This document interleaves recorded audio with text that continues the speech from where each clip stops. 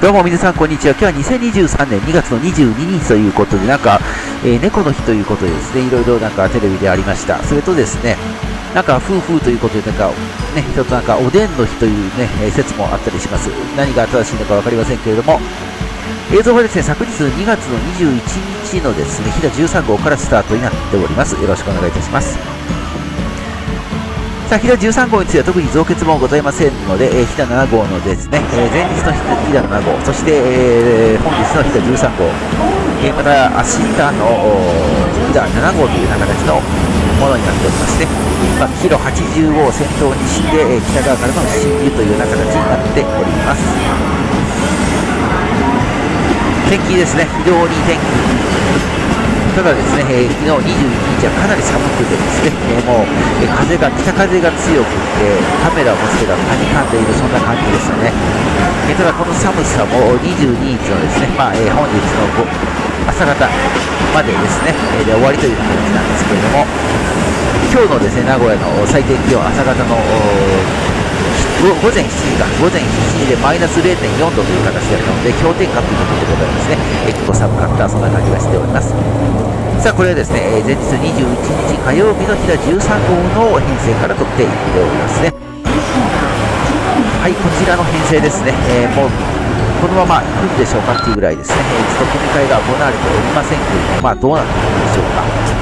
まあ、また飛騨5号のですね、編成とは多分入れ替えがいろいろあるのかなと思いますけれども、だんだんとキア85系のですね運用が少なくなってきたそんな感じがしておりますね。はい富山編成でございますね。304と5番ですね。あごめんなさい。3番ですね。3番がついております。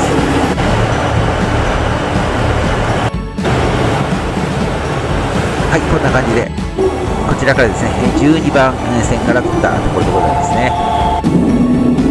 えドクター2の DR2 ということでね、えー、ドクターイエローですかね、それが止まっておりまして、名古屋車両を見ていきましょう。こちら D3 編成でございますね。はい、それから D6 編成、それから D2 編成とかね、この辺りでね、D6 とか D2 が動いてる、稼働しているものでございますね。えー、こちら313の1300まで片方は分かりませんでした。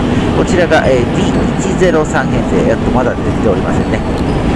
これが D103 編成ですね。向こうが D203 編成という形になっております。台車とか見てると非常に綺麗ですね。D203。さあ、313 1300万台。モーター車に乗っております。モーター音が聞こえております。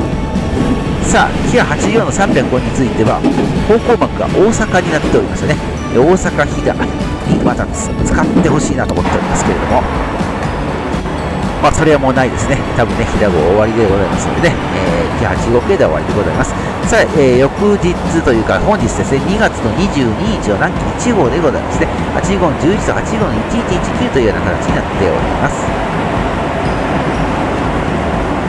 今日も天気が良くて、今日は10、10度ぐらいかな。10度、11度ぐらいまで上がるということで、昨日は7度だったんですね。飛騨2号の名古屋駅という形、名古屋に到着をしましたね。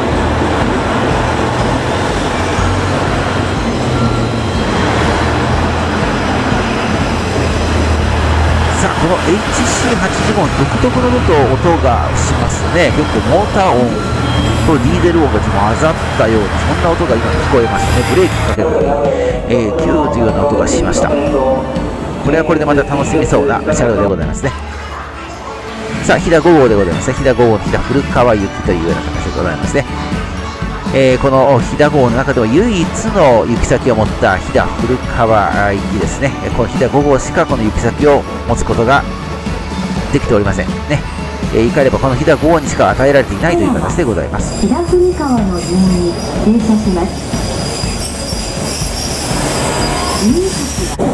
さあ、85の202を先頭にですね、これ日曜日ですね、ここは、この車両は確認ができておりましたが、あとはちょっとね、未確認でございますね、えどのような形で変更になっていくのかというところを見ていきたいと思っております。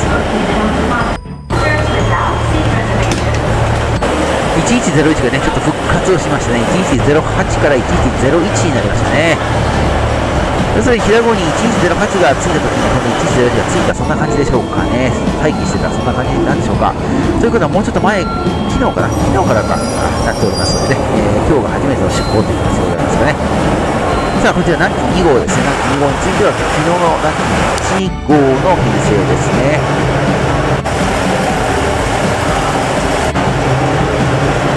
はい、え今日はまだまだちょっと続いていきますので、ご覧くださいませ。続きまして、飛騨11号ですね。飛騨11号の富山行き、こちらを撮影してあります。はい、飛騨11号については、昨日の飛騨19号が増結されている都合上ですね、今日はですね、あ今日もですかね、今日も8両編成という形ですね、えー、高山編成が5両、それから富山編成が3両というような形でございます。さあ、この飛騨11号の富山、えー、行き、えー、この富山編成についてはですね、先ほど見たですね、えー、昨日のですね、13号、昨日の13号の、ね、富山編成がそのままそっくり帰ってきております。さあ、こちらが増結車両、キア85の205番ですね。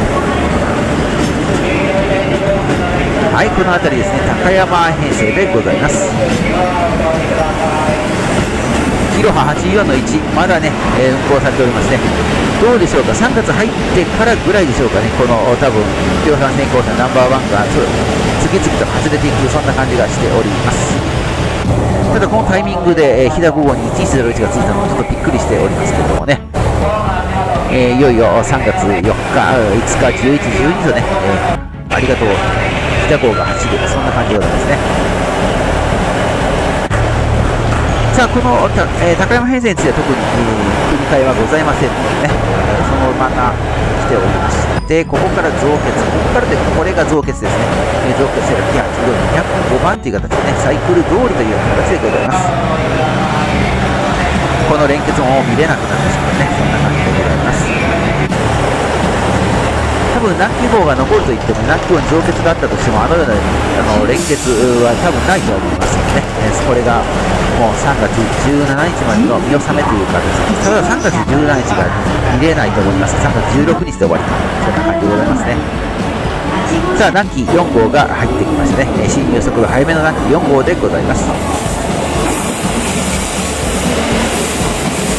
これは HC85 に関わった時もですね、このような形になるんでしょうかね。ちょっとそれを見ていければと思っておりますけれども、さあ、ここから、えー、南紀5号にね、え、変更になりますよということですね。南紀5号に変更になりますということで。はい、今日もですね、えー、南紀1号についてはオール2両編成ということでございますね。オール2両編成の方でございます。動画はこれで終了です。最後までご視聴いただきまして、ありがとうございました。また撮っていきますので、ぜひもご視聴ください。それではまた会いましょう。さよなら。